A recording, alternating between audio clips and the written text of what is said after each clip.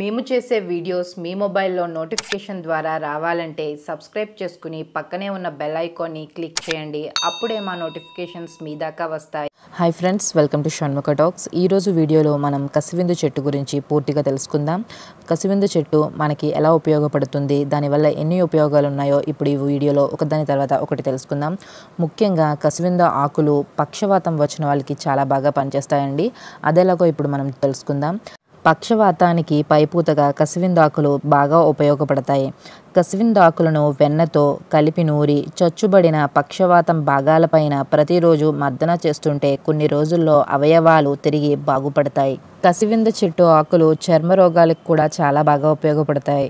కసివిందాకులు వేరు బెరడు ఆరబెట్టి పొడి చేసి నిలువ ఉంచుకోవాలి. ఈ పొడిలో తేనెను కలిపి నూరి పైన లేపనంలా వేస్తూ ఉంటే అనేక రకాల చర్మ రోగాలు అలాగే గాయాలు హరించిపోతాయి. కసివింద గింజలతో కాఫీని కూడా మనం ప్రిపేర్ చేసుకోవచ్చు. దీనివల్ల మనకి చాలా ఉపయోగాలు ఉన్నాయి కసివింద గింజలను దూరగా వేయించి దంచి పొడి చేసుకోవాలి. ఈ పొడిని నీటిలో కలిపి కషాయంలాగా కాచి అందులో తగినన్ని పాలు కండ చక్కెరను కలిపి కాఫీలా తాగుతూ ఉంటే సమస్త మూత్ర రోగాలు హరించి రక్తం శుద్ధి జరుగుతుంది. అతిమూత్రానికి కసివింద చాలా బాగా ఉపయోగపడుతుంది. కసివింద గింజలను కొద్దిగా వేయించి పొడి చేసి నిలవుంచుకోవాలి ఈ పొడిని పావు చెంచా నుండి అర చెంచా దాకా ఒక చెంచా తేనెతో కలిపి రెండు పూటల ఆహారానికి గంట ముందు సేవిస్తూ ఉంటే అతిమూత్ర సమస్య తగ్గిపోతుంది. స్త్రీలకు సకల కుసుమ రోగాలకు చాలా బాగా ఉపయోగపడుతుంది కసివింద చెట్టు.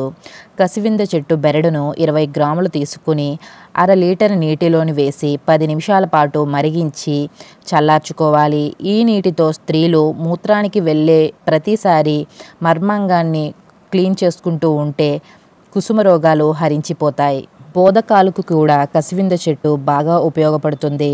కసివిందు చెట్టు వేర్లు బెరడు తెచ్చి కడిగి ఆరబెట్టి దంచి జల్లించి నిలవుంచుకోవాలి. రోజు రెండు పూటలకు రెండు గ్రాముల నుండి క్రమంగా శరీర స్థితిని బట్టి ఐదు గ్రాముల వరకు పెంచుకుంటూ రెండు చెంచాల నాటు ఆవు పాలలో కలిపి ఆహారానికి గంట ముందు సేవిస్తూ ఉంటే బోధవాపులు తగ్గిపోతాయి.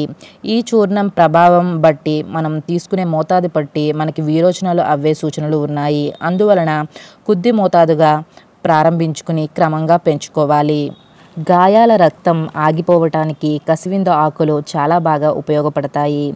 కసివింద ఆకులను మెత్తగా నూరి ఆ రసాన్ని పైన పిండి ఆకుల ముద్దను పైన వేసి కట్టుకడితే గాయాల నుండి ఆగకుండా ప్రసవించిన రక్తం వెంటనే ఆగిపోయి గాయాలు కూడా త్వరగా తగ్గిపోతాయి. రేచీకటికి కసివిందు చెట్టు చాలా బాగా ఉపయోగపడుతుంది. కసివింద పువ్వులను నలగొట్టి బట్టలో వేసి పిండగా వచ్చిన రసాన్ని ఒకటి లేదా రెండు చుక్కలు కళ్ళల్లో వేసుకుంటే ఏడు రోజుల్లో రేచీకటి తగ్గిపోతుంది. చలి జ్వరాలకు కూడా కసివింద చెట్టు చాలా బాగా ఉపయోగపడుతుంది. కసివింద వేరులను తెచ్చి కడిగి పది గ్రాముల మోతాదుగా ఒక పెద్ద గ్లాసు నీటిలోని వేసి కప్పు కషాయం మిగిలే వరకు మీ మరిగించి దంచి వడపోసి జ్వరం వచ్చే ముందు గోరువెచ్చగా తాగుతూ ఉంటే చలి జ్వరం రాకుండా తగ్గిపోతుంది. సర్వ సర్ప విషాలకు విరుగుడుగా కసివింద చెట్టు చాలా బాగా ఉపయోగపడుతుంది. పచ్చి కసివింద ఆకులను ఇరవై గ్రాములు పన్నెండు మిరియాలు కలిపి మెత్తగా నూరి ఆ రసాన్ని కొంచెం నీటిలో కలిపి పాము కరిచిన వారికి తాగించాలి. అలాగే పాము కరిచిన చోట కసివింద ఆకులను నూరి ముద్దగా చేసి పైన వేసి కట్టుకట్టాలి. ఈ విధంగా రెండు మూడు సార్లు రోజుకు చేస్తూ ఉంటే పాము విషం విరిగిపోతుంది. ఈ వీడియో కనుక మీకు నచ్చినట్లు అయితే లైక్ చేయండి షేర్ చేయండి. అలాగే మరిన్ని కొత్త వీడియోస్ కోసం మా ఛానల్ని సబ్స్క్రైబ్ చేసుకుని పక్కనే ఉన్న బెల్ ఐకాన్ని క్లిక్ చేయండి. అప్పుడే మా నోటిఫికేషన్స్ మీ దాకా వస్తాయి. Thank you for watching